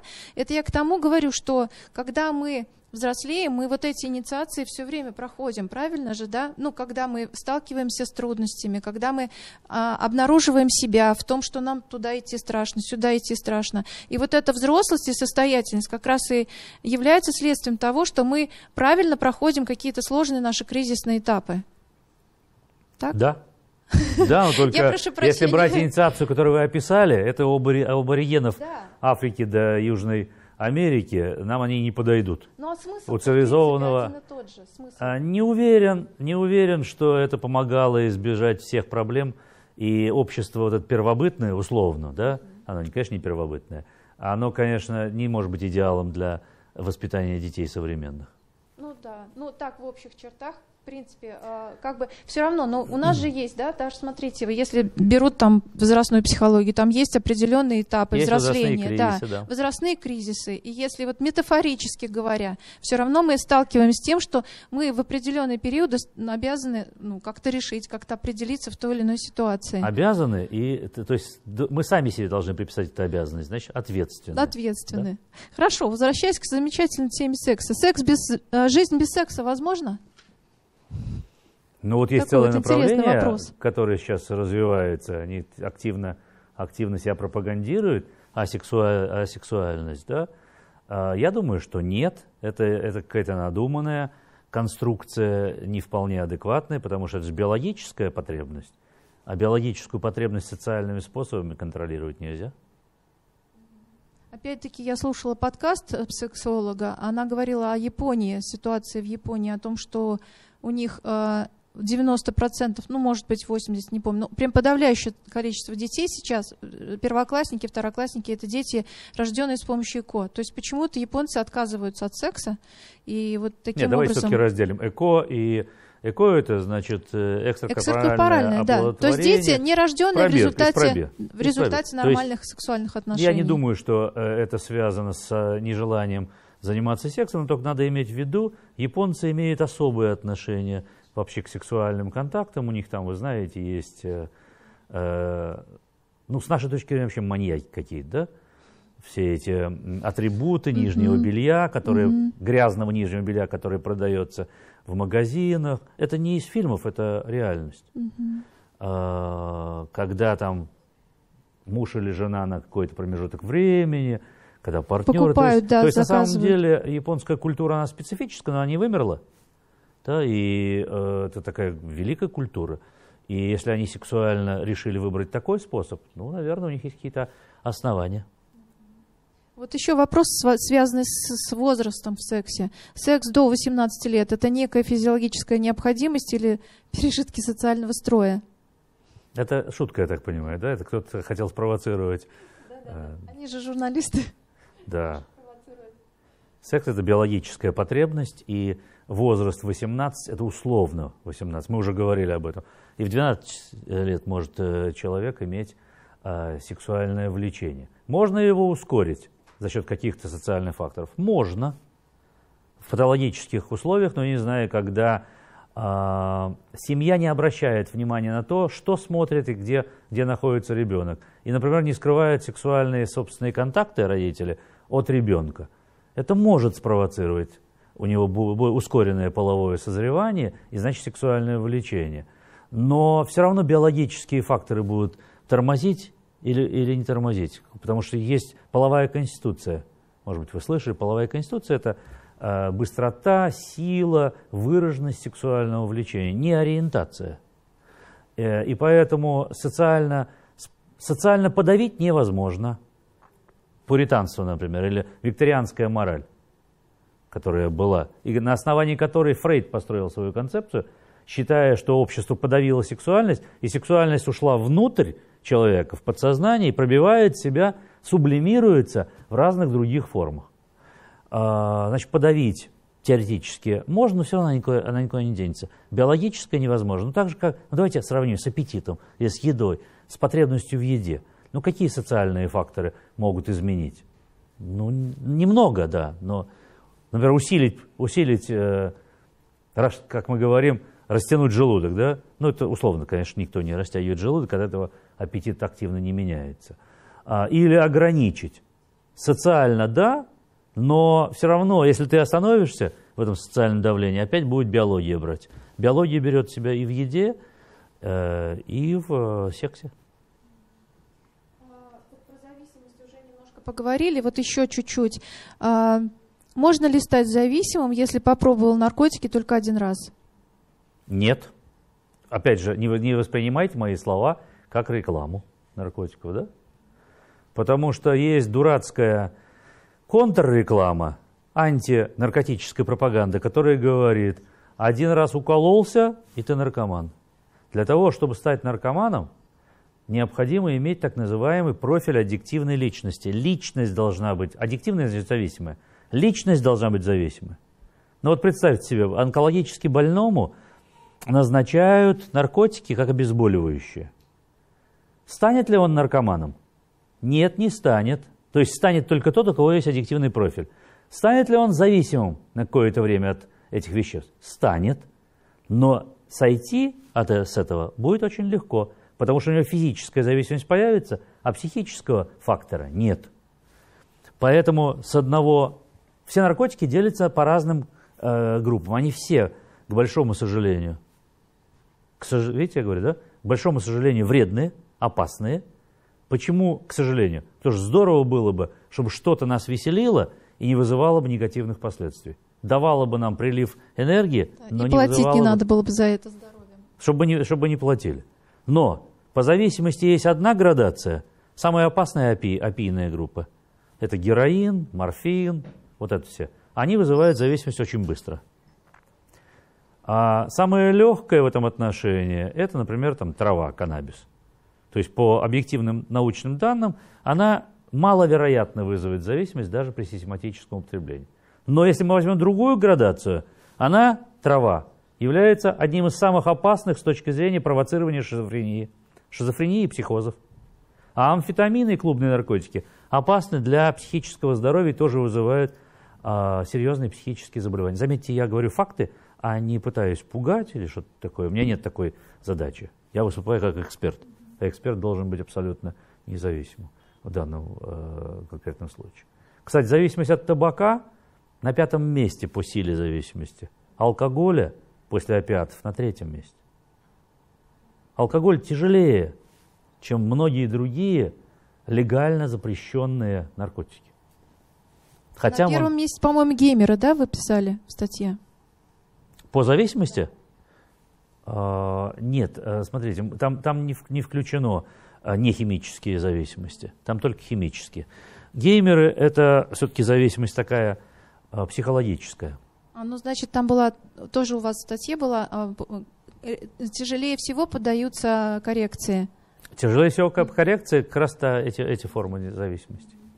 Вот еще такой вопрос, но он действительно спорный. Бывают ли наркоманы бывшими? Вот очень часто задают этот вопрос, не только вот ребята задавали. Если с точки зрения медицины, то нет. То есть мозг человека, который стал наркозависимым, ну давайте берем э, э, героин и кокаин. Мозг изменился, и он в равновесное состояние свое, до, до, которое было до того, как человек начал употреблять эти наркотики, он, он не вернется. Если брать социально, ну, например, что человек не будет употреблять наркотики, и в этом отношении он бывший, такое возможно. И самое парадоксальное, например, есть в науке понятие излечения от наркомании по усталости. Устал употреблять. То есть годы прошли, а он не умер, ну все уже. Вот нет сил. Первый раз такой термин слышу. Есть такой научный термин. Причем описано, что если человек доживает и не умирает от других факторов, ну, не знаю, от передозировки, от э, ВИЧ, если это инъекционный путь он одновременно получал, то треть э, уходит с этого наркоманского пути, и э, он, они уже бывшие. Так что бывшие наркоманы бывают. В социальном смысле точно бывают. И у нас остались два вопроса. Замечу, что первый, который я сейчас озвучу, был написан ну, тогда же, когда все остальные, до событий, которые сейчас происходят. Какой вы видите Россию через 10 лет? Как психиатр? Абсолютно. Сейчас ни один прогноз не будет э, реальным. Никак не могу ответить на этот вопрос, потому что сам нахожусь в замешательстве, сам э, не мог спрогнозировать Э, развития подобных событий, так же, как и большинство из нас. И поэтому у меня никакого прогноза, в данном случае не оптимистичный, не пессимистичный, просто какого-то прогноза у меня нет. Хорошо. Это не значит, что э, надо, так сказать, закрываться и не жить. Надо продолжать жить, но э, ориентироваться на то, что происходит вокруг, как бы щупать реальность. Как это говорят психологи, да, здесь и сейчас находиться, Здесь да, без сейчас. прогнозов. Да. Хорошо. И вот как вы относитесь к современной молодежи, что можете о них сказать?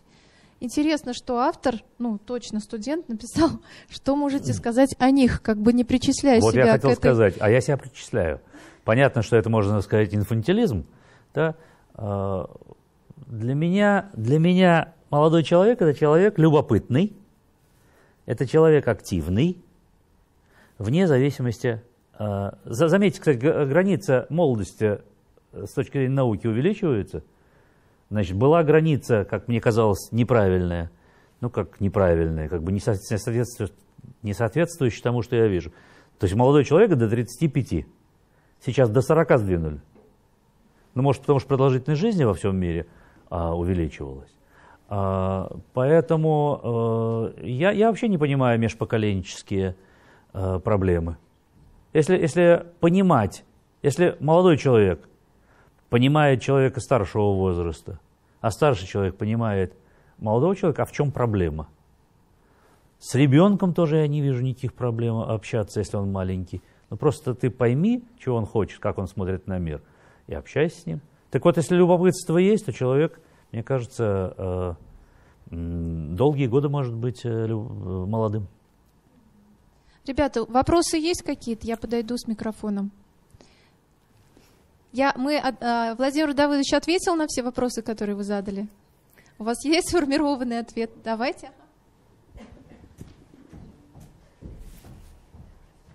Про секс? Про секс? Шучу, шучу, шучу.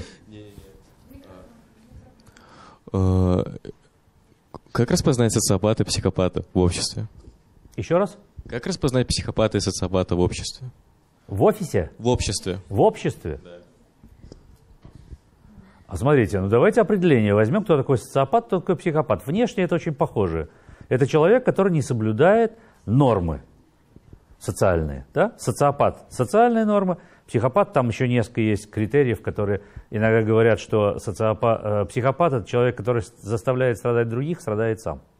Значит, если человек не соблюдает нормы, это первый, первый признак, а, указывающий на психопат. Только термин психопат э, уже как 35 лет ушел из э, науки. Нет такого термина.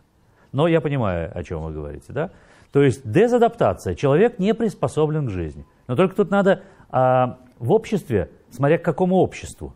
Может ли быть теоретически общество социопатично? Дисгармонично? Может быть? Может быть общество. Значит, является ли приспособление к дез- не- э, такому дезадаптированному обществу нормой? Не является.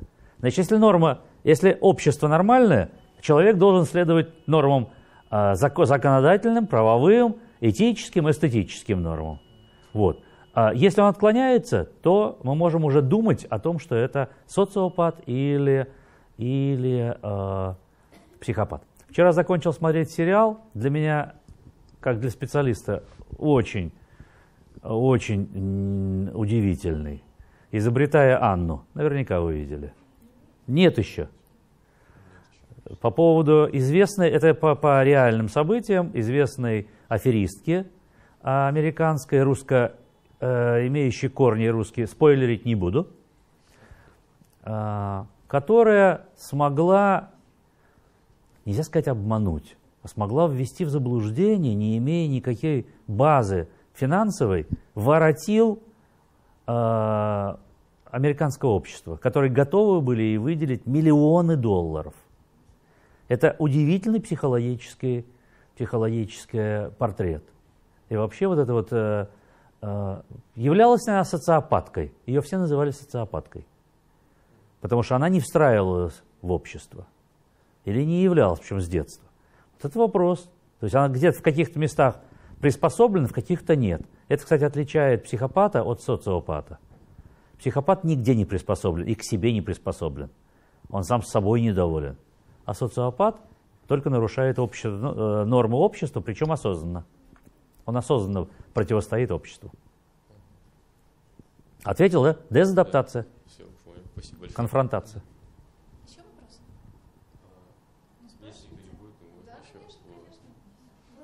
Да, да, пожалуйста. Окей. А это нормально, когда тебе вообще все равно на людей? Когда тебе э, их мнение безразлично. Ну да, не чувствуется.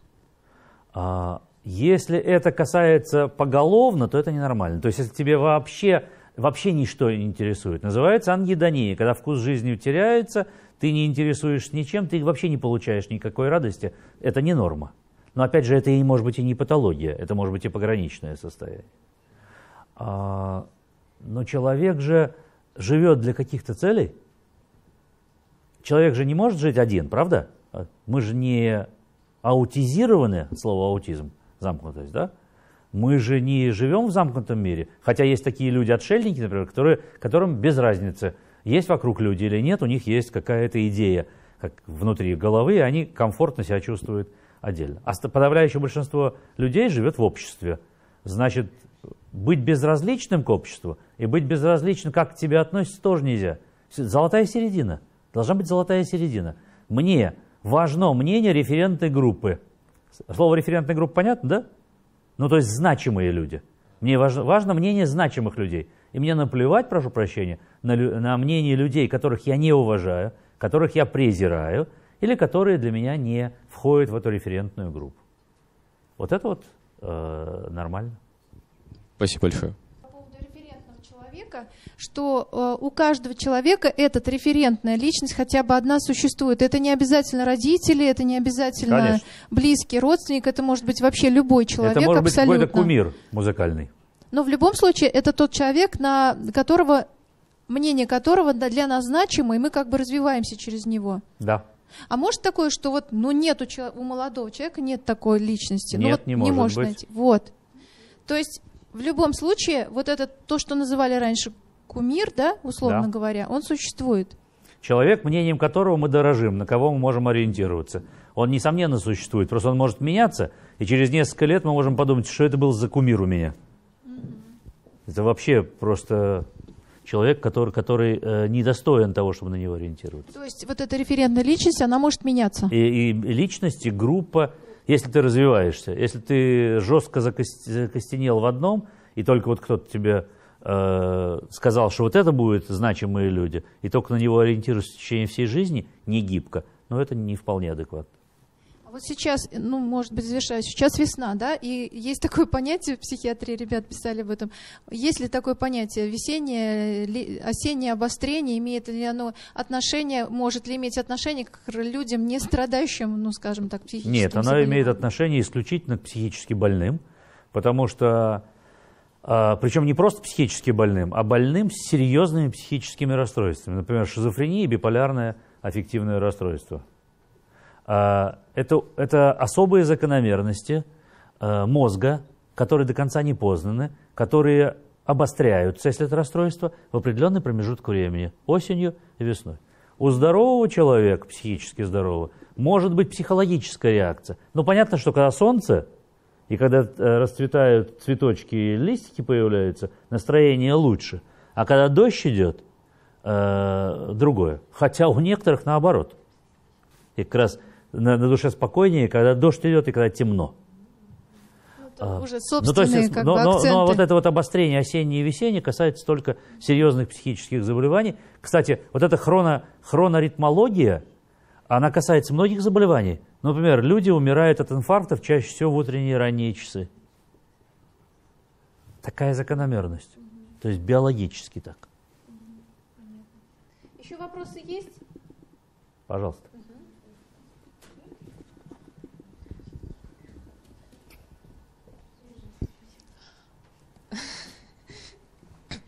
Как вы думаете, про секс говорить стыдно? Говорить про секс стыдно или не стыдно? Да. Смотря где, да? А, и в какой форме, и с какой целью. А, Тоже не знаю, что вы имеете в виду. Обсуждать сексуальные отношения, например, а как это принято в некоторых иностранных фильмах после окончания сексуального контакта, спрашивать человека, ну как? Как я, как ты? В других терминах, которые вы понимаете, как- что я имею в виду. Это примитивно. Если ты не чувствуешь человека, то разговаривай ты с ним о сексе, не разговаривай, это все не получится. Это будет не нормально, это слишком рационализированно происходит. Потом, зачем этот вопрос? Ну как, как там? У тебя все хорошо? Со мной был, я там. Да? А, человек же может сказать неправду. Имитация оргазма там начинается, имитация еще чего-то. Все это, слова, слова ничего не значат. А в нашем мире слова вообще ничего не значат. Надо научиться считывать эмоции, надо считывать вегетатику. Ну, вегетатика – это такое проявление различные э, кожных реакций, на чем построен профайлинг, хотя это не является научным. То есть говорить о сексе, это, если, если это часть жизни, то, конечно, можно говорить, уж точно я не вижу, чтобы это было стыдно, только в каких терминах и с кем и для чего. Ответил?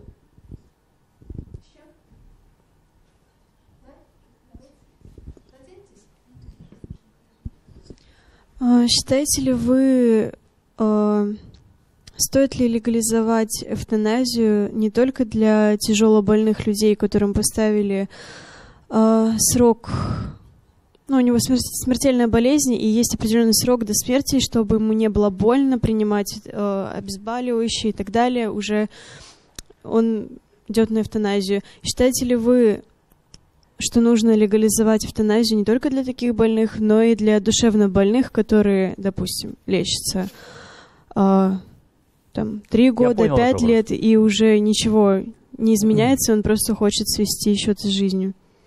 Я понял ваш вопрос. Очень сложный и очень неоднозначный вопрос, но вы, спрашиваете мое мнение, я отвечу. Значит, во-первых, я большой сторонник эвтаназии в отношении лиц, которые страдают неизлечимыми заболеваниями, не берем психические. Да? Я размышляю следующим образом. А хотел бы я продлевать свои мучения, если у меня было бы тяжелое, или если у меня будет тяжелое заболевание, и я мог бы выразить, в этот момент у меня бы сохранялся разум, я мог бы это выразить в письменном виде или в устной форме. И я отвечаю себе, я хотел бы. Есть моменты, когда, ну, если вы вспомните своих старых пожилых родственников, когда человек на протяжении долгого времени, ну, в тяжелейшем физическом состоянии, это называется, ну, уже растение, правда? То есть это жизнь точно бесперспективна и точно мучительна. А еще есть синдром хронической боли, невыносимый, не снимаемый ничем, иногда даже наркотиками.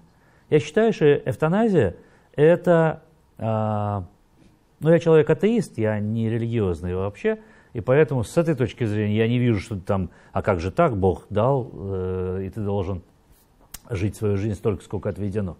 Я считаю, что не так. Я, я потому что видел огромное количество человеческих мучений и страданий.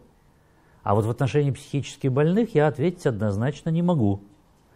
Потому что под эвтаназией понимается добровольное согласие на прерывание жизни, которое добровольное согласие, которое человек дает самостоятельно в здравом уме. А человек психически больной не здрав. Сейчас эта дискуссия ведется в европейском психиатрическом сообществе. И, например, в Бельгии были случаи, когда э, согласились на то, что тяжелых психически больных, например, с болезнью Альцгеймера. Знаете, что такое болезнь Альцгеймера? Это э, слабоумие, деменция, у человека в разном возрасте, но обычно там после 60, хотя может и раньше быть. Когда человек, ну уже, это, это личность потеряна, это не он. Он не узнает окружающих, он ничего не понимает, он не может ухаживать за собой. Но вопрос о том, как он может дать согласие, давайте хотя бы, пока нет диск, продискутировать, давайте хотя бы подискутируем в нашем обществе вопрос об эвтаназии соматически, физически больных. Я, еще раз повторюсь, я сторонник того, чтобы мы пришли к этому, но я понимаю, что мы к этому не придем. Общество не позволит. Ответил? Смотрите, это с, с точки зрения сторонников эвтаназии, коим я являюсь. А с точки зрения противников эвтаназии, как раз незрело инфантильно это я, который считает, что э, надо мучиться, Жизнь, никто не сказал, что она сладкая. Терпеть надо. Мы не имеем права убивать людей. Поэтому, кстати, придумывают для эвтаназии способы, когда сам человек на какую-то кнопочку давит или что-то такое делает, то есть как бы сам на себя берет эту ответственность. Очень сложный вопрос. Как помочь человеку, который находится в депрессии? Может, ему стоит выговориться или наоборот не надо лезть в его личную жизнь? Ну, если как бы сразу откидываем вариант идти к психологу. А, Под словом депрессия понимается огромный спектр принципиально различных состояний. В вашем понимании депрессия равно плохое настроение. Просто с плохим настроением, если это не является феноменом глуб- глубоким и тяжелым, человек не просто может, а обязан сам справиться. Ну, вот какие-нибудь проблемы, допустим, в личной жизни. Да, депрессия, да, но только депрессия в кавычках, потому что термин депрессия в медицинском понимании, диагноз, он совершенно по-другому проявляется. Значит, когда-то нужно просто выговориться. Но если эта депрессия заходит все глубже и глубже, у нас есть основания предполагать, что это расстройство. А иногда депрессия может быть обусловлена биологическими факторами. Ну, знаете, да, обмен серотонина отвечает за депрессию, поэтому лекарство используется ингибитор обратного, селективный ингибитор обратного захвата серотонина. Ни о чем вам не говорит, но смысл. То есть мы должны воздействовать на серотониновый обмен. Если у человека просто плохое настроение, антидепрессанты не надо принимать. И к психологу идти, может быть, тоже не надо. Потому что, может быть, самостоятельно человек справится, разобравшись, если, он имеет навыки э, справляться психологическими проблемами, если он умеет навыки анализировать. Навыки психологической защиты и копинга. Знаете, что копинг? Совладание. Совладание со стрессом. Если у него симптом или, или даже расстройство, бесполезно заниматься самоанализом и даже бесполезно идти к психологу. Потому что уже другой уровень стал. Это все зависит от э, дисбаланса в мозге веществ. Серотонина, норадреналина, дофамина. Надо назначить лекарство. Я это вижу каждодневно. Когда, когда человек совершенно в тяжелейшей депрессии, э, болезни, ты ему назначил определенные группы правильных лекарств, плюс психотерапия, плюс, то что тут не, не или-или. И у человека состояние выравнивается, потому что нормализовали э, но, э, нейромедиаторы, у него нормальное настроение, он уже имеет возможность анализировать жизненные события трезво. А когда он болен, он не может трезво. Ну, например, признаком а, глубочайшей депрессии являются даже не столько суицидальные мысли. Суицидальные мысли могут быть и у здорового человека. Может, крамольную вещь говорю, но она, она соответствует научно. А, например, совершенно необоснованные чувства вины. Расскажу вам случай. Женщина пыталась покончить жизнь самоубийством, с ней разговариваем. Что, что случилось? Она, раз, она такая взрослая женщина, там, ближе к 50. Она говорит, когда я работала в магазине, я в молодости, в 20-летнем возрасте, вот сейчас она об этом рассказывает, хотела покончить жизнь самоубийством, я обманывала покупателей. Ну, там так, женщина, по которой рассказывала, она в советское время была, она разбавляла пиво водой. Такое было в советское время, да? То есть, хотя и сейчас, наверное, такое может быть. Да. Смотрите, но это же неадекватно, правда? Чувство вины неадекватное. То есть, с точки зрения человеческой, да, она совершила ну, проступок, но если бы она сразу после этого отреагировала, а ты через 30 лет реагируешь, вдруг вспомнила и чувство вины, и попыталась покончить жизнь самоубийством. Это неадекватно, и ее никакими э, доводами, доводами разумными, рациональными невозможно вывести из этого состояния. Ей нужны лекарства, причем ей нужно серьезные, тяжелые лекарства. Ну, тяжелые, а- активно действующие. Итак, ответил, да, то есть депрессия может быть обывательская, она может быть, в обывательском понимании, она может быть тяжелым психическим А расстройством. как вот можно как-то помочь самостоятельно человеку? Да. А обывательская. Можно. Смотрите, бывает так, что вот мы, мы живем-живем, и вот в сегодняшний день, и вдруг у нас что-то испортилось настроение. А предлагается следующий вариант. Давай мы отмотаем и вспомним, после какого момента сегодня у меня э, испортилось настроение. Наверняка вы так делаете, да? И вдруг вспоминаешь, вот после этого события, разговора с тем-то, с тем-то, хотя никакого скандала не было. И начинаешь анализировать эту ситуацию. А вообще правильно я отреагировал? Правильно ли я понял? Знаете еще одно выражение? Утро вечером мудренее. Вечером кажется, такая депрессия, вообще все беспросветно.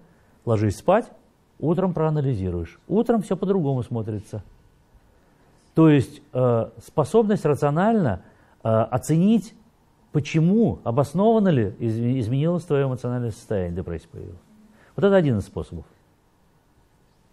И в этом тоже заключается помощь, да?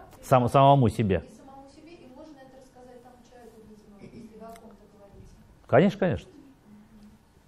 Ну?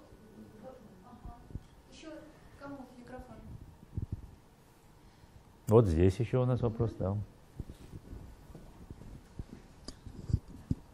Можно ли заразиться от душевно больного человека ну, теми же симптомами или ну, стать от него зависимым из-за его состояния? Грубо говоря, если человек в депрессии, то и на тебя перепадает это настроение, это ухудшение, это апатия. И ты становишься, ну, если не, не идентичным, то у себя замещаешь те же самые симптомы. Если говорить «заразиться» в кавычках, или если говорить не в кавычках, то по-разному, да? Заразиться, понятно, нет, да, это вам не э, ковид и не грипп. То есть заразиться невозможно. Может ли человек как бы взять на себя эти эмоции? Может, но только тот, кто составляет очень близкую эмоциональную пару с этим человеком, который живет его жизнью. У нас в психиатрии есть понятие индуцированные психозы. Индуцированные, значит, ну, передающиеся. В чем суть? Когда человек болеет психозом, ну, например, бредом каким-то, а дочь болеет, а у нее психическое расстройство. И мама начинает полностью поддерживать эту бредовую идею или бредовую систему. А, она болеет, но у дочки болезнь связана с деятельностью мозга, а у мамы с ее эмоциональным переживанием, связанным с дочерью. Вот такие психозы могут быть. Можно ли, может ли э, испортиться настроение, когда рядом человек в депрессии? Конечно, может. Но просто испортится настроение. Например, мы ему сопереживаем. У меня близкий человек, который находится в депрессии. Я ему сопереживаю, я стараюсь войти в его положение, я живу вместе с ним, я его глажу по головке и фактически и психологически поглаживаю. Да, может. Но еще раз, а на уровне болезни это перейти не может. Или, по крайней мере, не должно. Да? Если это родственники, то у нас же наследственность есть. По, по многим психическим расстройствам есть наследственность, и поэтому высока вероятность, что просто человек одновременно заболеет. Ответил? Там, а еще вопрос есть, да, пожалуйста. А, с чем может быть связано то, что человек не привязывается к другим людям, очень быстро отпускает других людей, и вообще это хорошо или плохо? То есть противоположное тому, что мы сегодня обсуждали, когда токсичные, из токсичных отношений человек не может выйти. Когда он не привязывается, да, или не может строить э, такие длительные эмоциональные переживания. Смотрите, значит, опять же, в, однозначного ответа нет, но я вместе с вами порассуждаю. Значит, можно сказать так, что человек не привязывается, потому что еще не нашел такого человека, к которому можно было бы привязаться. Ну, просто не нашел. Может такое быть? особенно в жизнь, когда, когда мы многие живем виртуально или в период ковида, мы же даже не имеем возможность э, как бы попробовать общение с каким-то, с разными людьми. Поэтому, поэтому это может быть связано с избирательностью. Избирательность не всегда плохо. А зачем связывать отношения, как бы махнуть, ну ладно, время уходит, давай-ка я вот э, замуж выйду или там буду с этим человеком, который, очевидно, для меня не подходит. Зачем? но все равно же наступит разочарование потом. Времяпрепровождение – да, связывать свою жизнь и стать зависимым – нет, неправильно. Это на уровне нормы. Но есть ведь и патология. Может быть, вы слышали, это так называемое пограничное расстройство личности. Это как одним из критериев, которые являются обычно девочки, делают в подростковом возрасте. Когда от эмоциональной боли, эмоционального непонимания окружающих, они наносят себе порезы, на руках, на ногах, на животе. У меня таких много девочек. Одним из критериев пограничного расстройства личности является критерий невозможности установить длительные эмоциональные отношения. Значит, вот если бы ко мне пришли с подобной проблемой, я бы пытался дифференцировать. Это психологическая проблема и вот посоветовал бы, вот так же, как я сейчас сказал, что ну просто надо больше знакомиться, смотреть, может, подойдет кто-то. А я бы дошел до, до следующего. А может быть, человек, у, человеку уготована жизнь э, одному. Это не, это неплохо. Нет, надо проанализировать с человеком вместе. А почему вы считаете, что это плохо? Ну, то есть, чем? Давайте мы вместе проанализируем, чем это плохо. Что, вот той самой сексуальности, отсутствием сексуальности, так это одно другому не мешает, правда? А, отсутствием поддержки, так можно друзья, чтобы были. Ну, то есть я бы обязательно анализировал вместе с человеком. А если бы это была проблема психиатрическая, я бы назначил лекарство. Ну, я говорю не именно про партнера в отношениях, я говорю вообще про всех людей. Ну, кого, Ну, например, есть- по- подруг? Да, то есть нет какой-то, не чувствую к ним любви, привязанности. Я не могу сказать, что я кого-то в этой жизни люблю. Пока. Да? Точно так же там к родителям вот такого нет. Смотрите, ну опять это очень индивидуальный вопрос, который можно было бы разбирать, потому что тут много, много разных вариантов. Может быть, э, это строится на недоверии, на том, что человек пережил, например, э, измену, предательство. И тогда появилось это. Если этого не было, значит, какие-то другие причины. Общий, вопрос, общий ответ здесь не, не будет, к сожалению. Ладно? Большая возможность, вот как вы сказали, самоанализом заниматься здесь. Вообще много. хорошо. Вообще Homo sapiens должен заниматься анализом. Мне так кажется. Говорите. А можно вас спросить, а можно ли самостоятельно справиться с дереализацией и деперсонализацией, и вообще из-за чего могут возникать эти симптомы, если это длится на протяжении нескольких лет, допустим? Мне неловко каждый ответ э, э, начинается с того, что это может быть и так, и так. Да? Но это действительно и так, и так. Значит, э, и то, что вы называете дереализацией, деперсонализацией, может быть в моем смысле не дереализацией, деперсонализацией. Значит, что такое дереализация с точки зрения э, психиатрии? Это искаженное, нереальное восприятие жизненных, э, того, что происходит вокруг. И человек говорит, я как э, через стекло на все смотрю. Ну вот, что значит э, через стекло? Обозначает, что я не чувствую живости этой, которая есть в этой жизни. Это не значит, что он видит другой, у него не галлюцинации. Он эмоционально другой, он не, не переживает так, как переживал бы, если было реально. Деперсонализация, когда человек чувствует подобные изменения в себе, причем разные. Может меняться там, есть такие психопатологические симптомы, как у Алисы в «Стране чудес». Вдруг э, удлиняется, расширяется, вдруг рука такая 10 метров, и он это как бы чувствует. Он не видит, он чувствует. Он видит, что рука такая, но он ощущает, что она вон до стены.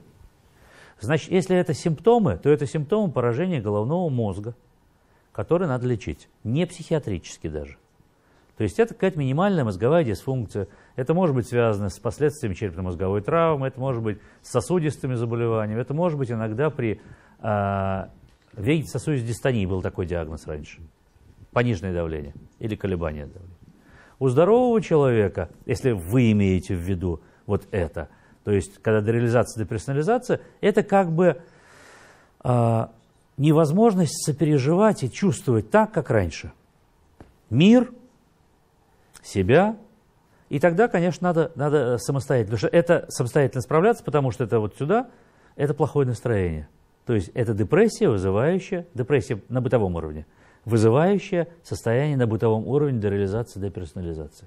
Значит, чем человек расстроен, и у него все как через стекло. Или он воспринимает себя не так. То есть это депрессия. То есть надо бороться, бороться с депрессией. Еще есть вопросы? Ну, если вопросов больше нет, мы, наверное, на этом завершим нашу Да. встречу. Спасибо большое, Владимир Давыдович, за то, что вы пришли, за ваши ответы, развернутые, очень интересные. А, наверное, поблагодарим нашего гостя. Спасибо вам.